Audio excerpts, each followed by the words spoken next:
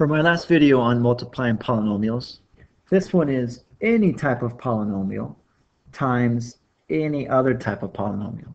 So I'm going to use this method that works for any type, so you can use this if you like. Uh, it's very similar to what I showed you before. So let me take a look at this type of polynomial. I have a binomial times a binomial. I know it's a binomial because there's two terms, 1 and 2 times 1 and 2. So my method I like to use, I used in the previous video, was to make an area multiplication box. So what I do is I make a little box, and this one's going to be a 2 by 2 this time. The reason it's 2 by 2 is because I have two terms times two terms. It doesn't matter where I put them, but let's say I put this one here. This is going to be x and a negative 2. Over here, this is going to be x and a positive 3. All right, and then all I have to do is fill in that box with the correct multiplication. So 1x times 1x is x squared. x times a negative 2, negative 2x. X times a positive 3, positive 3x. 3 times a negative 2, negative 6. What's really great about this particular uh, way of doing things is you're going to notice that many times these diagonals here are going to be like terms. So that's great. Those are the ones that I can combine. So I start off with the largest exponent. That's this guy here. So x squared. Next, 3x negative 2x gives me positive 1x. And last but not least, I'm left with my constant negative 6. So there's my answer there. Let me show you, I wouldn't be a proper math teacher if I didn't teach you the FOIL method, although I don't like using the FOIL method. Shh, go figure. Here you go. Method 2, FOIL. Some of your uh, siblings or your family might say, oh, I learned FOIL. Well, you can tell them you know it too, you just don't like to use it. It stands for first, outer, inner, last. What do I mean by that? First, that means first two terms get multiplied first. So x times x, x squared. Next, the outer. That means this outer and that outer. So 3 times x, or x times 3 is 3x. Then the inner, negative 2 times x, so negative 2x. Then the last, negative 2 times 3 is negative 6. Then you can see that x squared is by itself. These two are like terms. Combine them, you get your positive x, and then your negative 6. And voila, you came up with the same exact answer as I did um, in the previous example. The reason I don't like FOIL uh, is because it only works with a binomial times a binomial. And it won't work for anything else. Forget it. I'm not going to memorize that. We're going to use area multiplication. So here we go. Let's take a look at another example.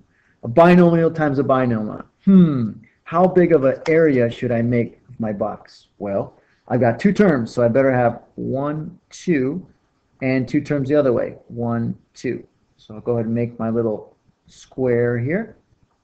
And then I can put those two terms anywhere I like. So if I want to go ahead and put this one on the side this time, that's fine. The reason we can do that is because we're just multiplying in different orders. That's the commutative property of multiplication. Doesn't matter the way you order. You multiply. All right, so now I'm going to go and fill in the boxes here. So one at a time, I'll start with the top. 5 times 2 is 10, x squared. 5 times negative 5, negative 25x. 2x times negative 8, negative 16x. And last but not least, I have 40. So, lovely, wonderful. I see that my diagonals, once again, are like terms.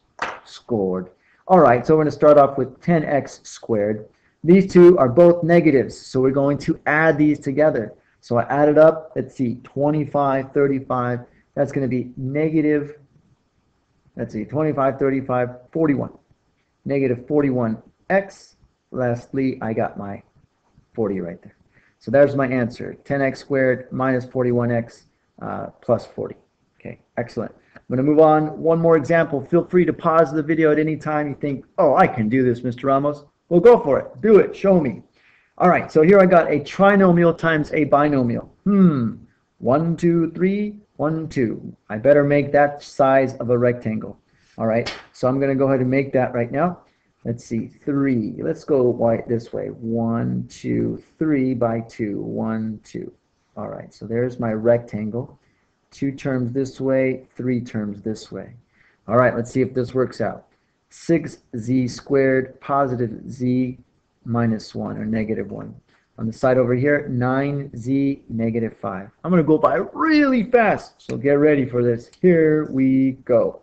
All right, I get 54 z to the third positive 9z squared negative 9z negative 30z squared, negative 5z, and 5. Wow, did you catch that? Rewind it, watch it again.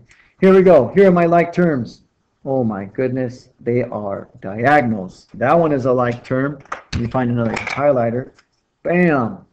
These two are diagonals and they're like terms as well. Amazing. All right, so here we go. Here's my answer. I start with the largest exponent. 54z to the third, that's the largest exponent. Next, these two combined together to give me negative 21z squared. Next, these two combine to give me negative 14z, and last but not least, 5. Oh my goodness, I'm so smart. You're so smart. We're so smart together. All right, that was it.